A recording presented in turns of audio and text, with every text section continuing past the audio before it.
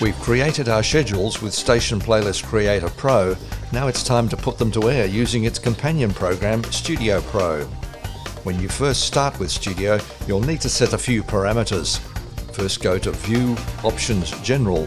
Here you'll find a range of options to run the program. For example, if the PC is a dedicated on-air machine operating 24 hours a day under automation, you'll want to tick Load Studio at Windows Logon, Visible at Startup, Auto Load Playlists, Auto Reload Playlists, and Auto Play at Startup. In the case of Easy FM, we also want to display a custom logo, which you can see at the top right of the screen. The next page is Advanced, here we can determine how Studio moves from one hour schedule to the next.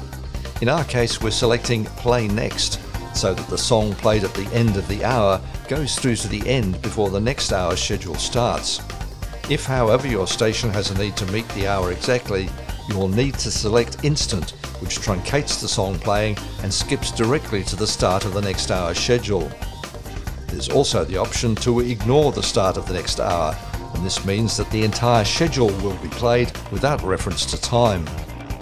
Short hours. Selecting Insert Top-Up Tracks allows us to create a folder containing suitable instrumental tracks that will play should the scheduled hour not contain enough material to fill the full hour. This folder is selected in the Folder Locations page. Or you can choose to repeat the last hour or start the next hour early. There are also options to vary the speed of tracks to ensure that the last track in an hour finishes precisely on time. Voice track intro overlapping allows the voice tracks and intros that we've recorded in Creator to overlap the start of the song. The other options are of a housekeeping nature that you can look up in the help files, as are the options on the Event Times page.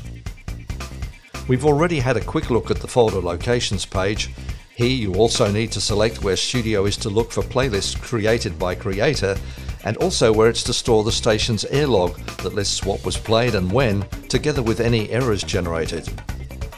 The input page allows you to first select that you want to crossfade the song files and then establish the default parameters for this crossfade. Songs that have already had their attributes set using Track Tool will use those attributes rather than the default times that Studio adds when it scans the file for the first time. In addition, spots or voice tracks without previously established parameters will not be scanned if the boxes are not checked. There is also a checkbox to select when you've used replay gain when scanning files in Track Tool. If you plan to use microphone or line inputs in addition to file playback, these parameters can also be set here. The output page sets the destination for your program. There are two key options to either use a single sound card and mix all of the signals to that one output internally, or use multiple sound card outputs to individually send the signals independently to an external mixer. The level by which a track is faded to accommodate voiceovers is also set here.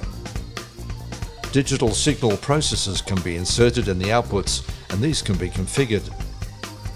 In the schedule we've created in Creator for Easy FM, we've made provision for time calls through a break note. To enable that break note in Studio, we go to the time and temperature page and fill in the information required so that Studio can find the files we recorded and read the file name format.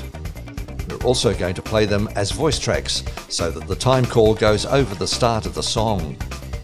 Once our program has aired, we want to be able to produce a log, and this can either be a single file containing all of the elements, or it can be separated into three different files, one containing songs, one spots, and the other everything else. Now we've set up the options, let's load our schedule. You can see that the different types of entries have differing icons and colours to make it easy to see what's going on. There are also several clocks that variously give you playlist times, track playing counters, as well as the current time and the number of minutes to the end of the hour. Hit Automate and we're on the air. Because we ticked Auto Load Playlists in the general options, 15 minutes before the end of the hour, Studio will automatically load the next hour and as long as new playlists are created in Creator, either manually or through auto playlist creation, Easy FM will stay on the air 24 hours a day, 7 days a week, fully automated.